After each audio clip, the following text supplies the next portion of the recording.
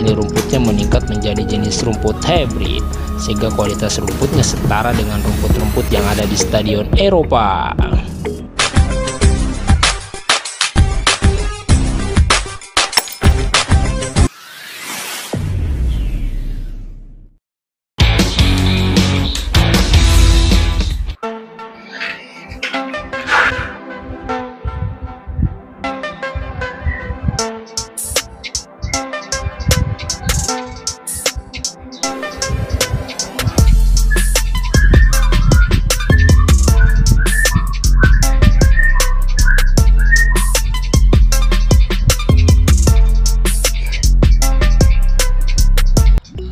Assalamualaikum teman-teman. Pada kesempatan kali ini kita akan membahas Stadion GBK dipuji oleh manajer timnas Argentina.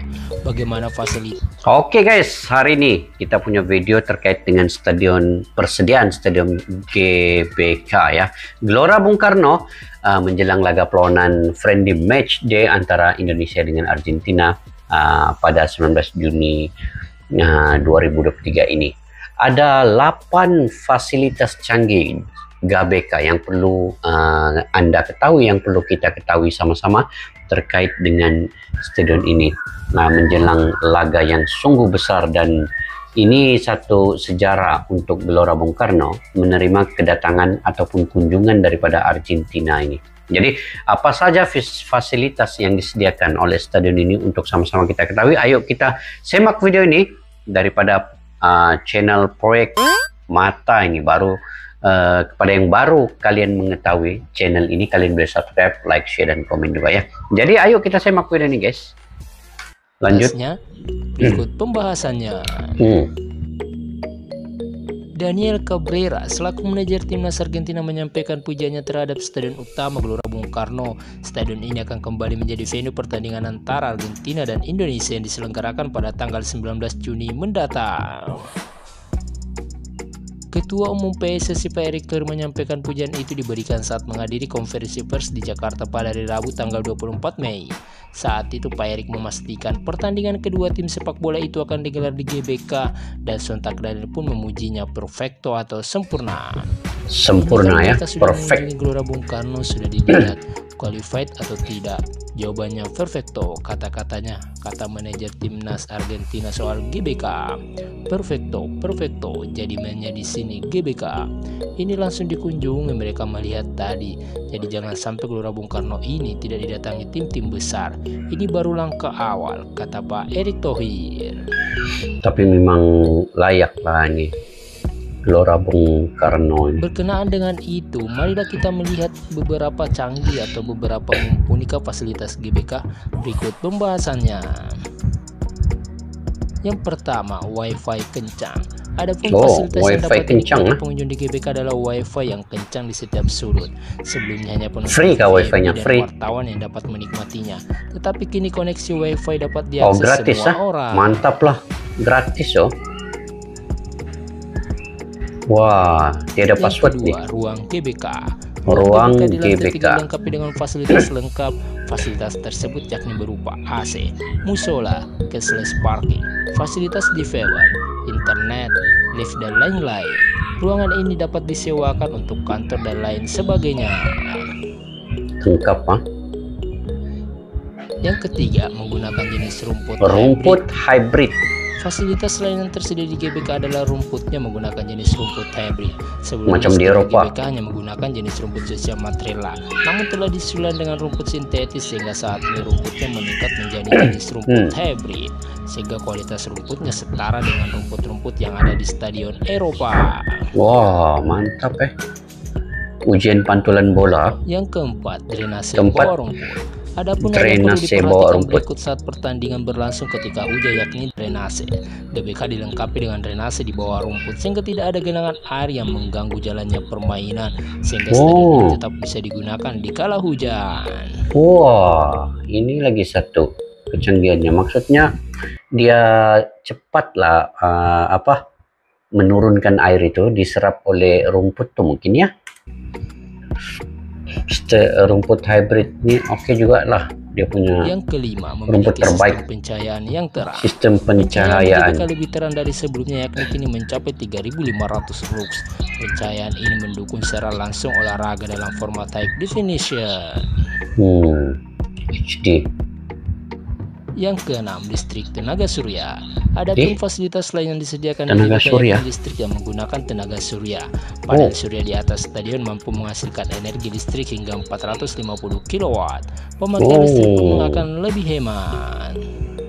jimat lah kalau gitu ada tenaga solar ten- Yang tenaga surya terdapat 100 toilet. GBK Wih, juga tidak lupa menyediakan toilet 100 yang toilet. banyak dan jauh lebih baik bagi para pengunjung. Toilet tersebut Hmm. dilengkapi dengan urinoir dan wastafel dengan standar internasional. banyak tuh 100 toilet dah oh cantik nih merah Yang kedelapan memiliki sound system Kedelapan? terbaik. Oh, Adapun sound system. fasilitas lainnya yakni sound system yang jernih, menyeluruh dan jelas. Para penonton pun dapat menikmati suara lagu Indonesia Raya dengan jelas. hmm Itulah tadi Mantap. beberapa fasilitas yang ada di Stadion GBK yang bisa memanjakan timnas Argentina ataupun supporter yang berkunjung ke stadion. Namun fasilitas yang belum dimiliki GBK yakni VAR, di mana di Stadion GBK ini belum dilengkapi Hmm, dengan VAR? Sehingga Oh, belum lagi. nanti belum bisa difungsikan. Di mana penggunaan VAR di Indonesia saat ini masih dalam tahap perencanaan. Penggunaan. VR di Liga 1 atau di stadion-stadion yang ada di Indonesia akan diterapkan pada musim depan tampaknya Oh, musim depan, guys. Terkini PSSI sudah bersurat ke FIFA soal rencana penerapan VR di kompetisi sepak bola Indonesia. Hal ini diutarakan oleh Ketua Umum PSSI Pak Erick Thohir yang memastikan bahwa PSSI mengikuti segala prosedur yang sesuai dengan standar FIFA untuk penerapan VR. hmm mantap musim depan kalau ada VR sudah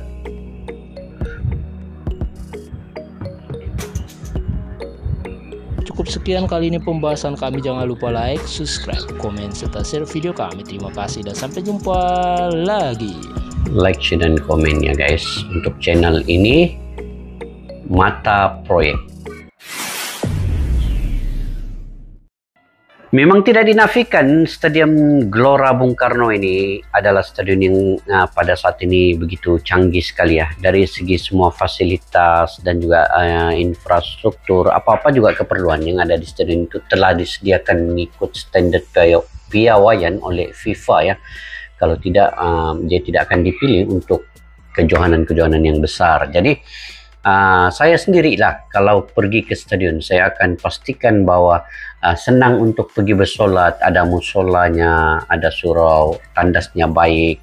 Dan juga dari segi kelancaran perjalanan di ke stadion itu juga itu banyak membantu dan juga mengambil kira uh, pengunjung penyu- pengunjung ataupun para supporter-supporter yang datang ke stadion itu supaya uh, semua itu dapat di terjaga lah.